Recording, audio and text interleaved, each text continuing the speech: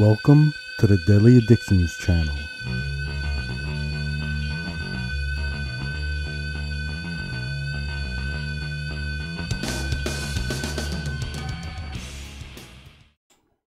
Thank you for joining me today. I'm going to talk about the Non Sequitur show. This is not going to be a breakdown or analyzing every move. I'm just going to talk as a fan who was greatly impacted by the show give my thoughts and feelings on everything that happened. I've been a member of the community for as long as I can remember. My book came out in 2012, and I would say I was big into the author community. And I didn't go into other communities and be vocal.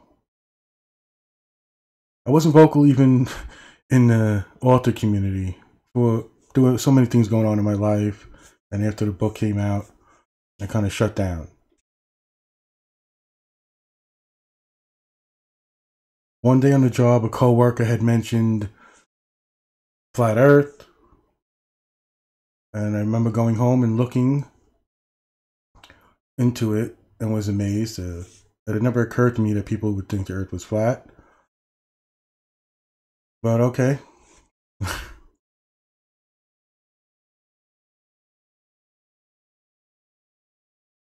I remember the hangouts in the community before the non-sec show started. I watched the show be created in a sense and become pretty big. And at the time, I was deciding on how I was going to reforge myself, how I was going to change my attitude, be more vocal.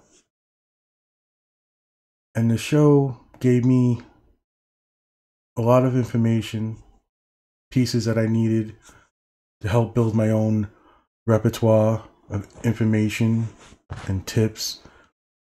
I was always fascinated with psychology, science, history. And the show's motto of opinions are sacred really hooked me. Plus, they were both good together. I enjoyed them both. I'm going to say I lean more towards Steve McRae's way of thinking, the interest that he had,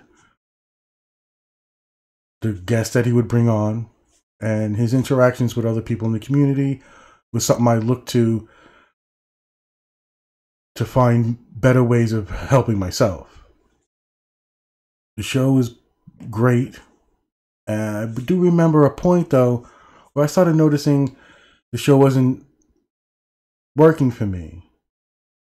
There were co hosts coming on, and I tried to check out their content and give them a chance, but they never really gelled with me. Then the attitude and the tone of the show started changing.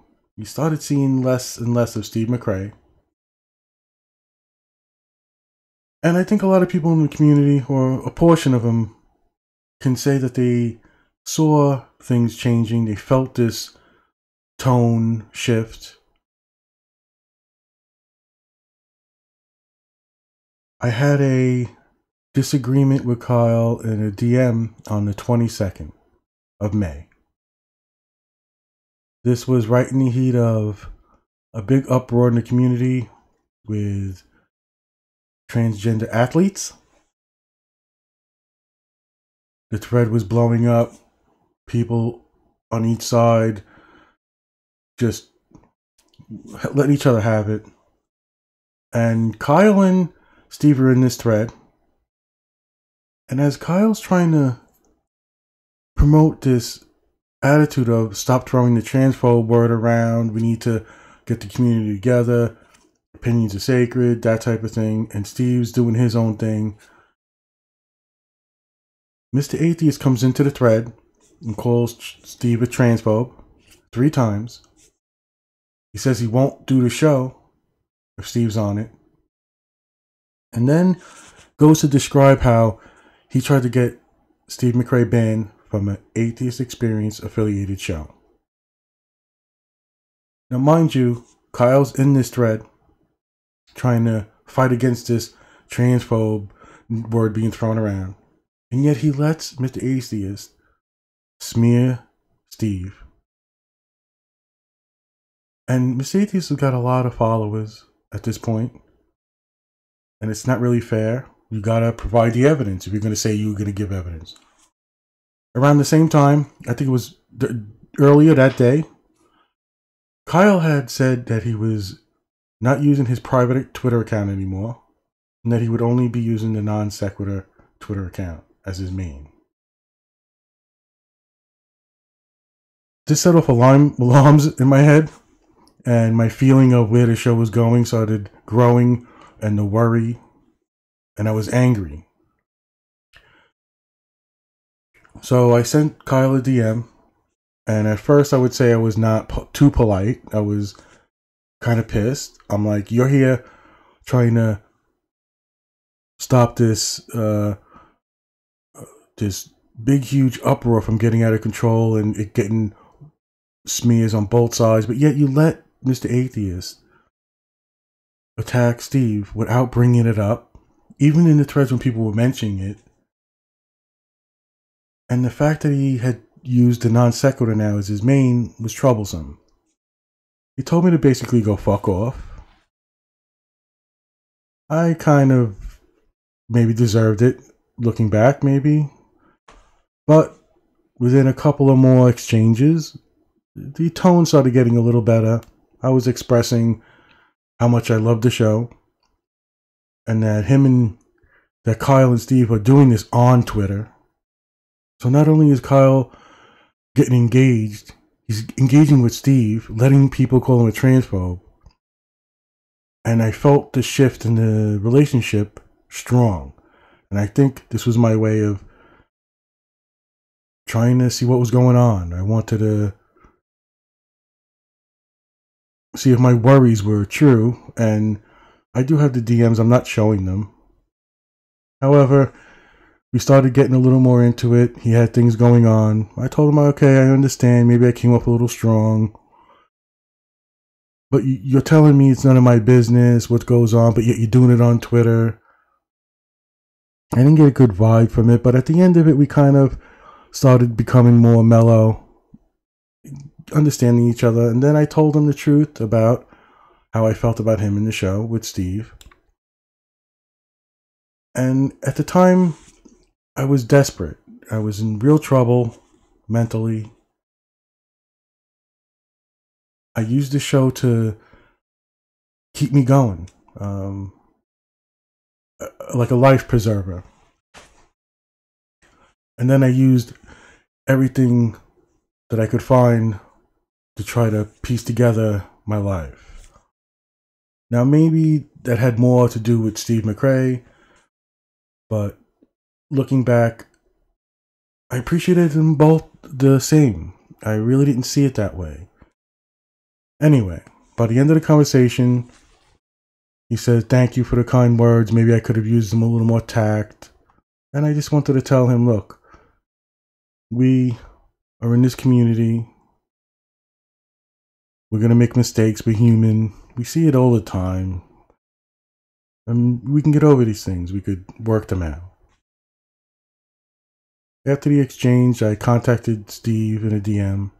And mind you, I had no interactions with either of them up to that point, except for Steve.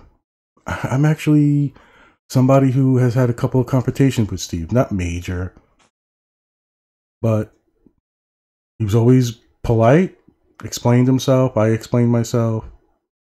Kyle, I'd never really contacted, or or maybe looking back, if he was using the non sequitur account, I ended my communication with Steve, just letting him know how much the show meant to me and why I care so much, and I was involved in the thread, and maybe I was getting involved with both of them heated. I didn't like the fact that they were both fighting in the thread, and anyway, I felt bad about the whole situation. So I went on Twitter publicly and thanked them both. I publicly said how much the show meant to me, that it saved my life at a point where I was really desperate. And I had pushed friends away, family away. It was a really dark time. And for a time, I thought, okay, it'll work out.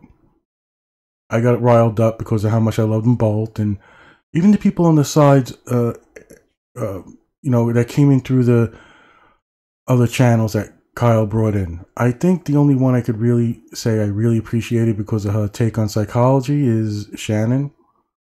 But I tried to give everybody a chance, and they didn't really gel with me. But you saw the community, and especially them, change. The they would always look for opportunities to attack Steve, and I didn't like it.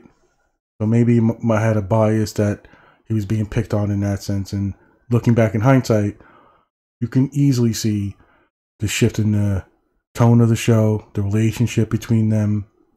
And I'm missing, I'm missing, I'm not even talking about people on the sides that started it with them, like Bull, Bullinator, maybe even Dave McGinnis. I wish I would have planned this because I had just watched the Caffeine Corner and now that I got my channel, I wanted to do a show on this. Anyway, so it's right after May 22nd. And from there to when it's revealed that Kyle had taken the show, you can see evidence here and there that things weren't going well. I didn't enjoy the show so much. You could tell the community was starting to pick up on things. And then it comes out Steve is no longer on the show. Kyle gave some bullshit answer or reason. But this guy goes and gets recorded admitting to a 50 50 deal, resorting to extortion. And you can see the attitude change. You could tell it wasn't him. He's different behind the camera than he is when he's doing the show a little heartbreaking, I'll admit. But if Steve was in the, the position Kyle was in, I'd be just as hard on Steve. But the evidence was clear, and things that followed it just piled on that showed Kyle was being deceitful. Some would say maybe even criminal behavior. And more and more, as things started happening, like a, a meeting that they had on the phone, and then Kyle doing the non sequitur show without Steve, blatantly lying. Then he's got his former co host and his Mr. Atheist, and they all spin the narrative. It's kind of ridiculous, sad. And I genuinely feel bad for Steve. No one should be treated that way. I don't care if you're an asshole to people, if some people will call you smug. You have good arguments, you're fair and balanced, you keep an open mind, and you admit your mistakes. Steve will do that. And I would say maybe in the past Kyle has done that. But from the day it was revealed that he was taking the show, everything he did was a disaster. And I'll give some fans a break. They're misled. They have a bias and they love Kyle. Fine, I'm okay with that. What I'm not okay with is spinning the false narrative and just constantly lying. People are showing you evidence. They're giving you, they're handing you the evidence and you're refusing to admit it. That I don't know if I'm, I could tolerate. Anyway, looking back, maybe I would have been, I wanted to be more vocal and I wasn't, but I decided I don't want to let this continue. And I let Kyle know at every chance I could what I thought of him. And until I think he comes out and apologizes and explains what happened, I might keep doing it. I don't know if I want someone in the community or a content creator who's able to steal a show, exhibit the behavior he did, and then just keep the channel. And the ironic thing is, all he had to do was create his own channel, go to Steve and say, This is not working. Let's make a deal. But what's happening now? The show's tanking. it's it's dead. His reputation, his legacy is tarnished. I hope it has nothing to do with bigger issues. I hope he's healthy. I hope he is not into drugs or some wild habits. But we I don't believe in letting people get away with that if they haven't admitted their faults and come clean. So, like I said, maybe I do have a more of a bias towards Steve, but I think I'm honest enough to say that if the roles were reversed, I'd be just as hard on Steve as anybody. So now we're getting to a court battle that Kyle never showed up for. And I think Steve won a default judgment, but it's not finalized yet. There's still things to go over. I'm looking at a hopeful future that maybe the show can come back and capture the magic that it had for me. In either case, I'm still a huge fan of Steve McRae, his channel, the Great Debate Community channel. And even though my first foray in being vocal had to do with the flat earth debates, I think I've come to know them both to a certain extent. More so Steve now.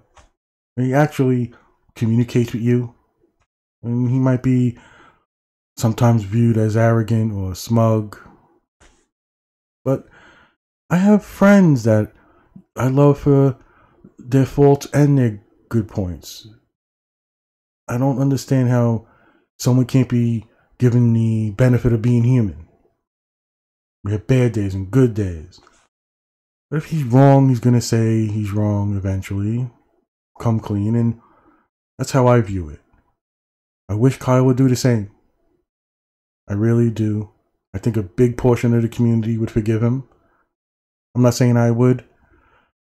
And I didn't have a big interaction. I wasn't, like I said, vocal. I had barely any communication with them, except for a couple of run ins, like I said, maybe with Steve and the, the show itself on Twitter, but general things, uh, nothing to get, make a big deal out of. So, this will be my my story about how the show meant a lot to me. The fans deserve much more than what Kyle gave them. Even now, they deserve some answers. Come clean and maybe get some of your respect back. In any case, the death of the non sequitur show does not have to be fatal. And here's to hoping Steve can resurrect it. So I want to say again, thank you to Kyle Curtis and Steve McRae